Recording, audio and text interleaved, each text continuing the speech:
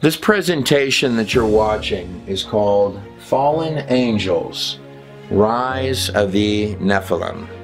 What I'm holding in my hand right here is a serpent idol. These are found in the area all around where ancient Eridu was, in current day Iraq, where the Tower of Babel, the areas where the Tower of Babel was, where you also find a lot of what are called eye temples. A portion of the reason that they're called eye temples is you find all of these little wispy, ghost, ET looking characters, supernatural characters that have all of these little eyes on them eye idols. This particular idol is a serpent goddess. Its name would be Namu or the or the Tiamat, one of the oldest forms of worship on earth, the Nakash in the garden. The word Nakash has three uses in one, just as the Nakash comes from Genesis 3. As a noun, it means serpent. That's where you're getting the common translation in the book of Genesis that this was just a, a serpent in the garden. But it's much more than that because as a verb, it means this serpent, just like this idol here, means to be divine, is what it means. Now, as an adjective, it means the shining one. So, this character that we're finding in the book of Genesis in chapter 3 is a luminous, serpentine creature, seeming angelic and wise, yet evil. Therefore, it would only be appropriate for us to begin coming from Genesis 3, where the serpent makes entrance, going to the passages of Genesis 6, where it reads this When men began to increase in number on the earth, and daughters were born unto them, the sons of God, the word there is B'nai Ha Elohim.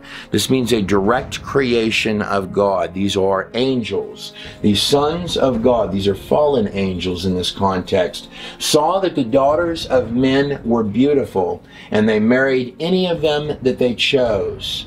Then the Lord said, My spirit will not contend with mankind forever, for they are mortal, and their days will be a hundred and twenty years.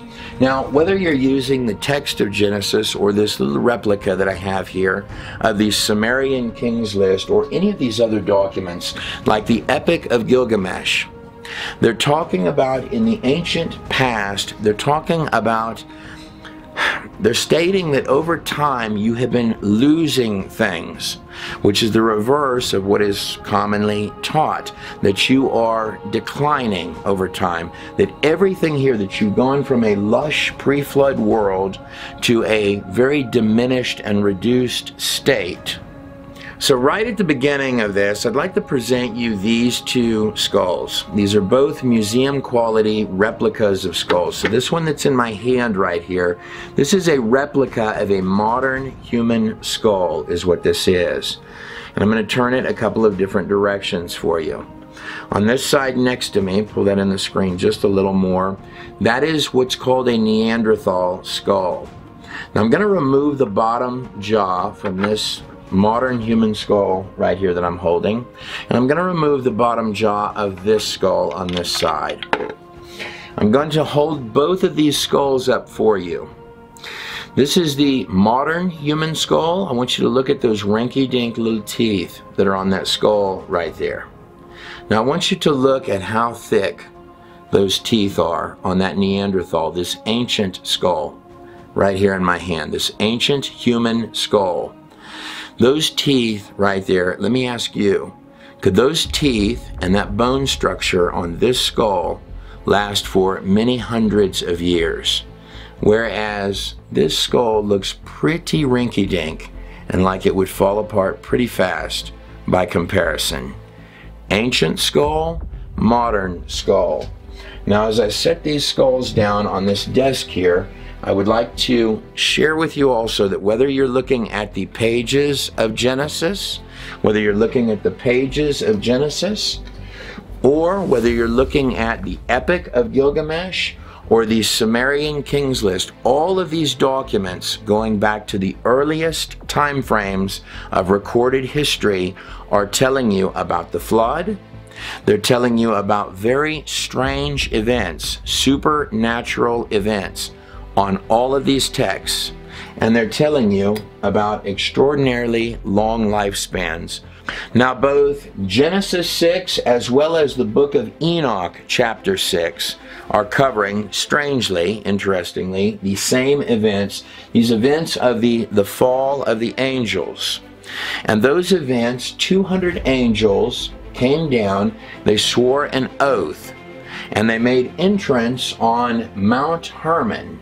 Right here behind me, this actually comes out of our three part Genesis series, our books, Nimrod, Pre-Flood, and Exodus, a God in a nutshell. This would be page 16 of one of the books. Behind me on the screen here, what you're looking at, this is called Pan's Cave right here.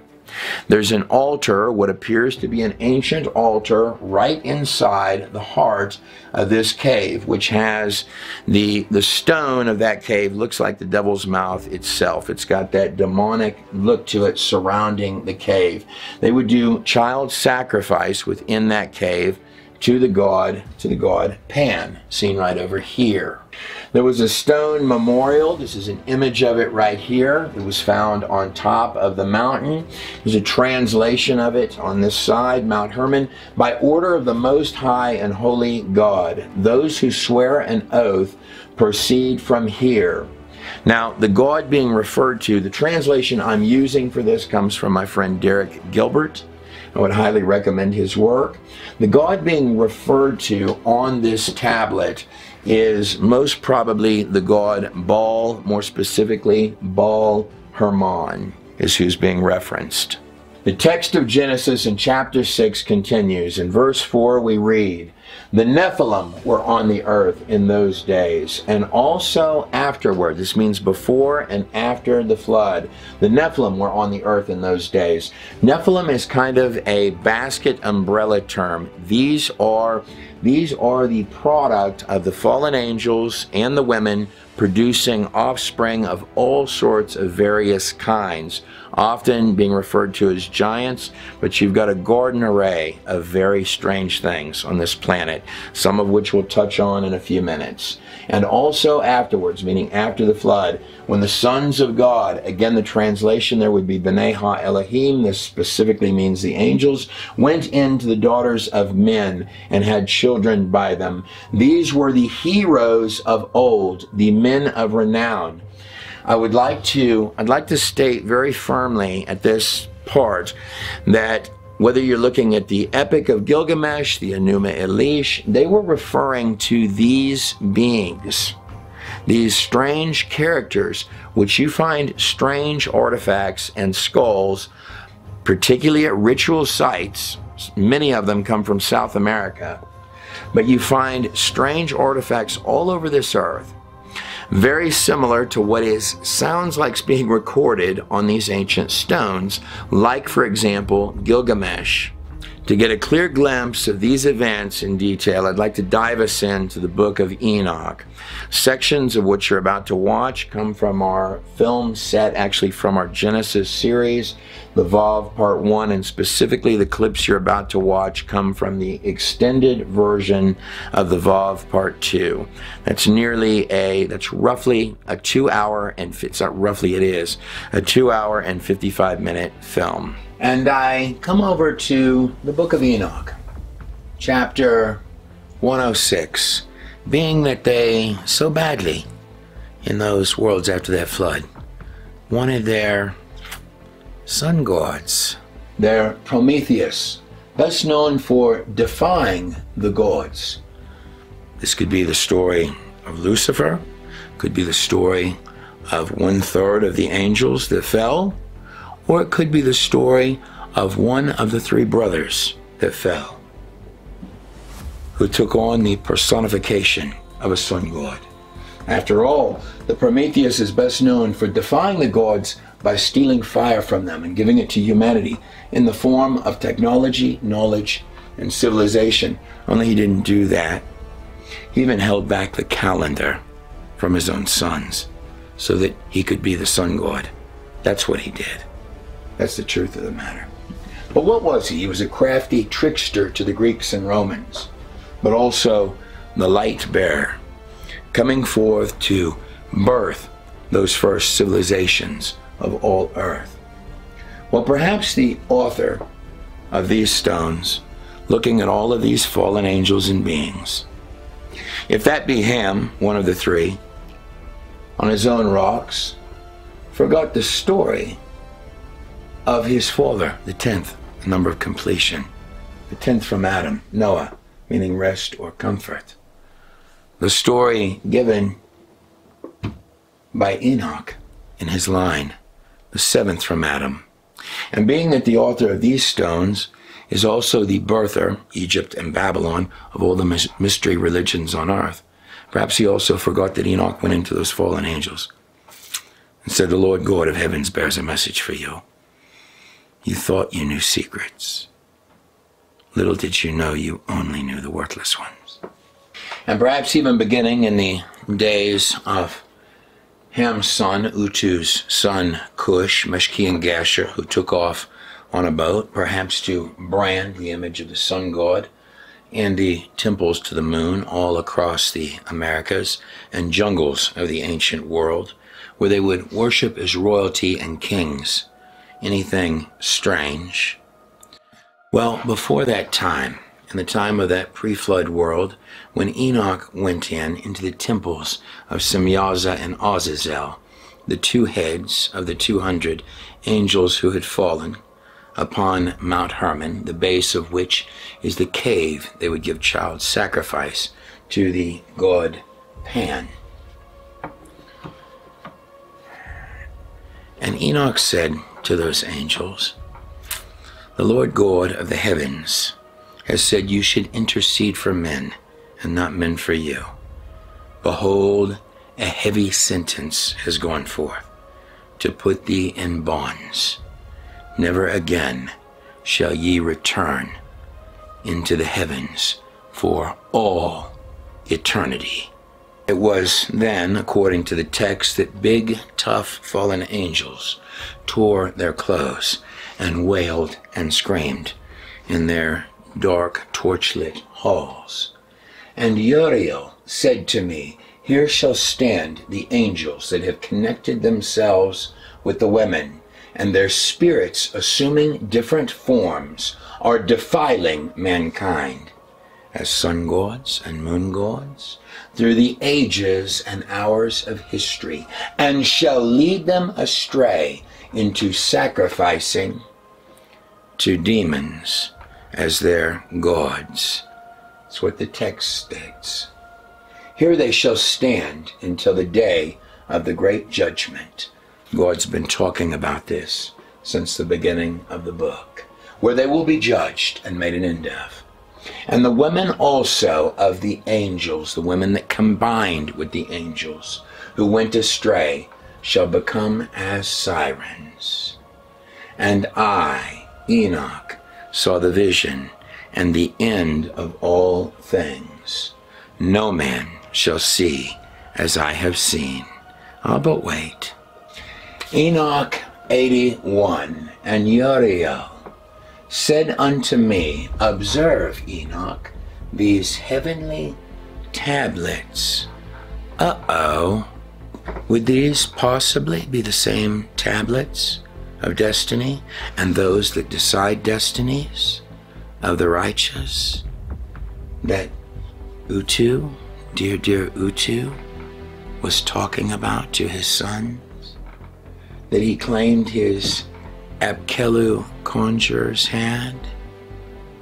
I think not.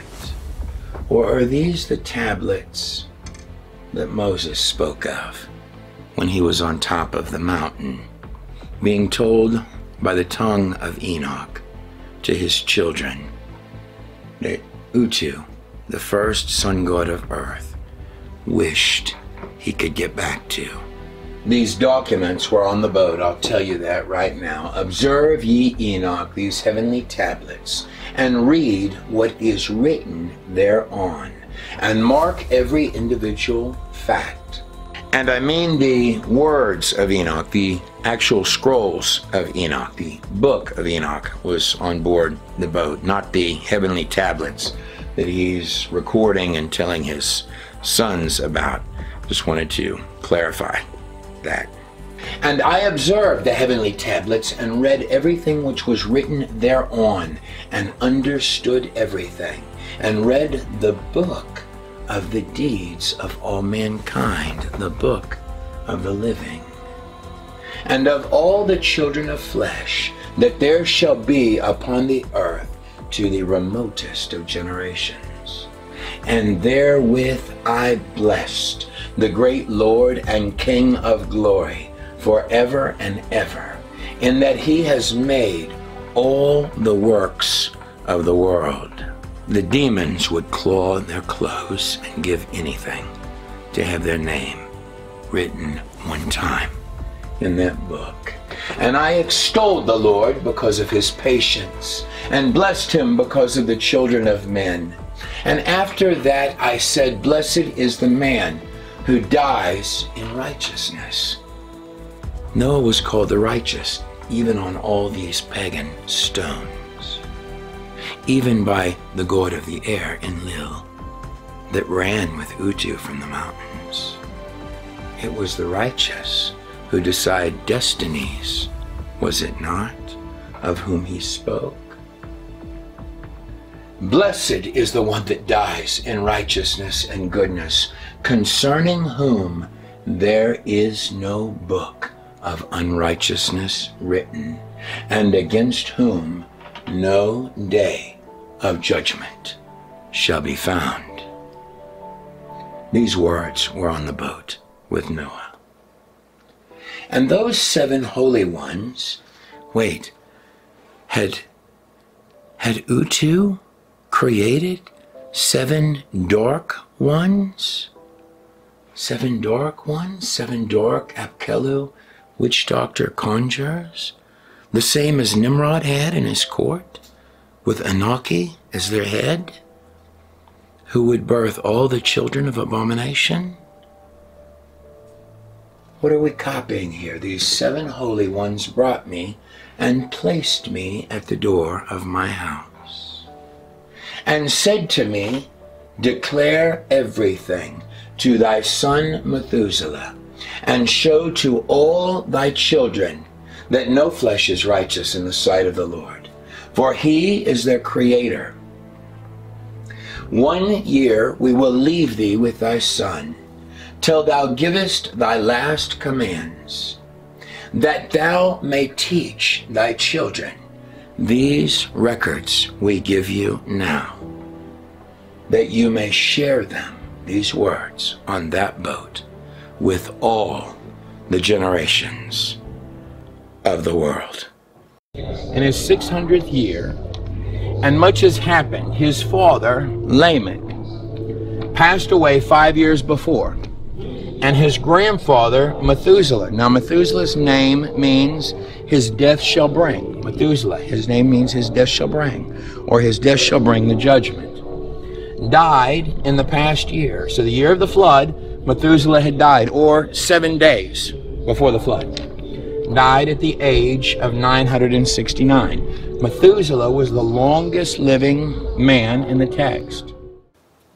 But if I come from Adam down to Noah, actually Noah's father, Lamech, in the book of Enoch, the seventh from Adam, and being that they all went to such lengths to birth even their empires all the way to the Romans and their and their sun gods, beginning with Utu, and to defeat that true Son of God and put the crown of thorns on his head. And in Utu's case, old Utu, thrown from the two mountain peaks, to impersonate a claimed son god well, surely, in that case, leading all the way to these, they perhaps knew this story from Enoch, who they also twisted. And here we go Enoch, chapter 106. And after some days, my son Methuselah took a wife for his son Lamech. Here's Methuselah, right here. He's the longest living man in your biblical text at 969 years. His name means his death shall bring or his death shall bring the judgment. His son is Lamech, whose son would be Noah, Methuselah took a wife for his son Lamech, and she became pregnant by him and bore a son. And his body was white as snow and red as the blooming of a rose. And the hair of his head and his long locks were white as wool, and his eyes were beautiful. And when he opened his eyes, he lighted up the whole house like the sun. And the whole house was very bright, and thereupon he arose, this child arose in the hands of the midwife. And he opened his mouth and he conversed with the Lord of righteousness. Who is this? And his father, Lamech, was afraid of him and fled the house. And he went to his father Methuselah, and he said unto him, For I have begotten a very strange son, diverse from and unlike man, and resembling perhaps the sons of God of heaven, the angels, the B'nai Ha Elohim is what he's stating. And his nature is different, and he is not like us. And his eyes are as the rays of the sun, and his countenance is glorious. And it seems to me that he is not sprung from me, but from the angels. And I fear that in his days a great work, a great wonder, a great fear may be wrought upon the earth. And now, my Father, I am here to petition thee and implore thee that thou mayest go to Enoch, our father, and learn from him the truth. For his dwelling place, Enoch's dwelling place, is amongst the angels. Enoch never actually died in your text. Enoch was not, for God took him. And his son was Methuselah, and Methuselah went. And then it states here, and I, and by the way, the book of Enoch, as it gets down into it, is actually, there are portions even of excerpts of Noah. It's more like a family record. And in my belief, it would have been kept on that boat. But no matter what you believe, here's what it reads next. And I, Enoch, answered and said unto him, Methuselah, The Lord will do a new thing on the earth. And this I have already seen in a vision. And make known to thee that in the generation of my father, Yered, some of the angels did go astray. They transgressed the word of the Lord. And behold, they have united themselves with women on the earth and have committed a great sin with them. And some of the angels have married some of the women of earth and have begotten children by them. And they shall produce on the earth giants, not according to the Spirit, but according to the flesh. And there shall come a great punishment on the earth. And the earth shall be cleansed from all impurity. Enoch continues, Yea, indeed, there shall come a great destruction over the whole earth, and there shall be a great deluge, that means a flood, and a great and mighty destruction for one year on the earth. Yet this son who has been born unto you shall be left on the earth and his three children shall be saved with him. When all mankind that are on the earth shall perish, shall die in this flood. He, this one that converses with the Lord of heaven, and his three sons shall be saved. And now go and make known to thy son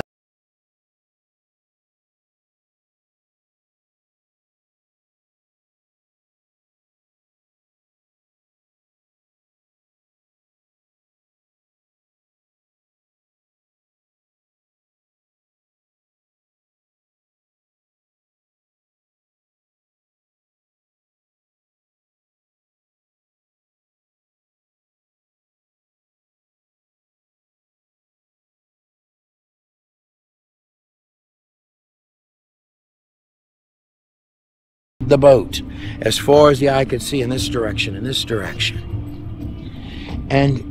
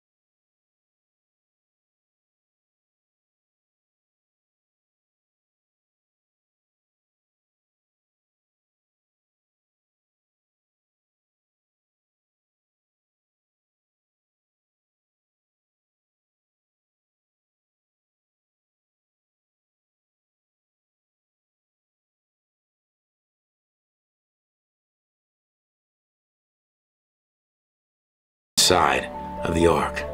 This is the enormous door to, to Noah's ark, right here in front of us. So, and it looks like a large door, but this ship had three, three layers. So you had the top, you had the middle, and you had the bottom. And this is where the they, they would enter. And it says that it was God Himself who closed the doors to this boat. And it says that the animals, they didn't come two by two, they were literally surrounding the boat as far as the eye could see.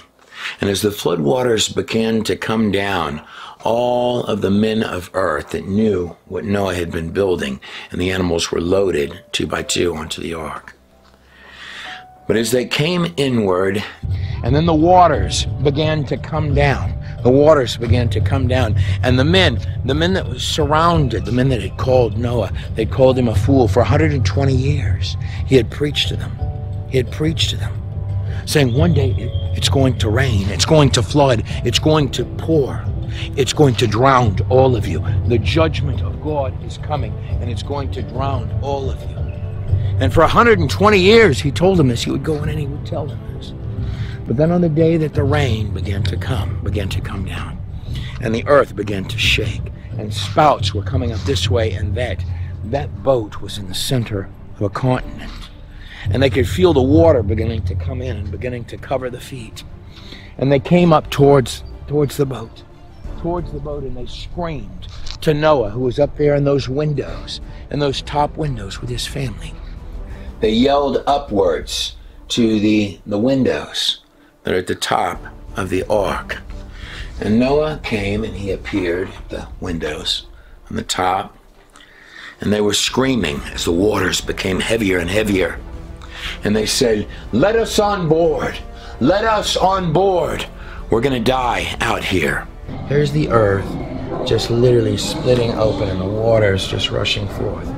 On the 17th day of the second month, 17th day of the second month, of Noah's 600th year, the 600th year of Noah's life, the waters of the great deep and all the waters from the sky let loose upon the earth. This behind me on the screen is called the Mid-Oceanic Ridge. It encircles the Earth like the seam on a baseball. It's what separates your continents. It is a 40,000 mile mountainous crack on the ocean floor. It is the place where the hot searing water, even this day, came searing forth coming forth like on the diagram behind me if you were anywhere near the edges of it it would have vaporized you if you were on the edges or the poles it would go up so high that water into space it would come down as ice trapping animals in ice cubes like your frozen mammoths creating of course the layers of strata which you find underneath the ground. A word which means sedimentary rock is what the strata is made out of. A word which literally means rock laid down by water. It's sorted by weights and densities. The animals trapped inside that strata on the day of the flood are sorted by ecological systems. Commonly, they are compared in your universities to tree rings. I'd like to point out that it is not tree rings. It is, in fact, it's dirt. And Noah looked down to them and he said, Where were your fears 120 years ago when I told you that this day would come? You're not getting on board this boat. And at that moment, as the floodwaters rushed inward, and they screamed up and they said, Storm the boat! And they ran inwards like a wild horde. And that's where it says in the text that the animals that surrounded the boat, they kicked outward in a violent horde, and water went every direction as they fought to get inside. And Noah looked down and he said, You're not getting on this boat. And that's where it reads in the text that God shut the doors to the vessel. And it was at that moment, as they fought forward to come inwards, the animals kicking outward in every direction, that it says the rage of the floodwaters came rushing in. And it was then that the boat began to lift upwards. The entire boat began to lift upwards. And as those waters began to crash in, and the boat began lifting up, it began violently spiraling upwards as if every board were about to shake loose and break. And as the boat was spinning upwards, Noah gripping on with his family. And it says in the text that in those moments, every animal on board cried out in its own tongue. And Noah gripping on with his family as the boat rocked and shook. He said, Lord, would you remember us? Would you remember me, your servant? And at that point, it reads that the boat rested peacefully atop the waters.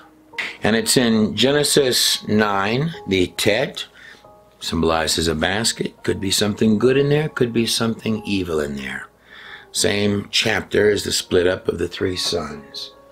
God sent a rainbow as a sign that he would never flood the entire earth again. It's another symbol or sign that's been taken and been twisted. But later in Genesis 9, you have the directions and the bloodlines of the three sons. One path going down and one path going up from the lineage of Noah and Shem or Hashem, coming all the way through these generations right here, all the way down to Abraham and through Abraham, you would get a great promise that through the seed of Abraham, God would bring blessing to all the generations and peoples of the world. Abraham's son would be Isaac, and Isaac's two sons would be Esau and Jacob. And Jacob's name would be changed, changed to, to Israel and Israel would have 12 sons. And one of those sons, Joseph, would be sold into the slavery of Egypt, which would last a time frame from Abraham of roughly 400 years. My name is Trey Smith of God in a Nutshell. I want to thank you very much for watching this presentation on fallen angels and the rise of the Nephilim.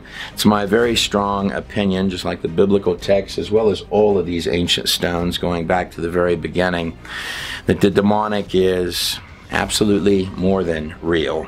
Let me be very clear that God is also real and He is far larger than all of these pesky little things. This film is dedicated, as well as all the films by God in a Nutshell, to my Lord and Savior, Jesus Christ. Roughly 20 minutes of the film that you just watched actually comes out of our film, The Vav Part 2, the extended version found over in the Partners section on the God in a Nutshell website. That particular film, The Vav Part 2, is roughly three hours long. The Vav Part 1, which is the film right here seen behind me, is the first of the two of the Vav films found over on God in a Nutshell. These films have both a regular version, which is what you're looking at, as well as an extended version, which will look like this. The extended version of that film, and I would recommend that you watch both of them in their extended versions.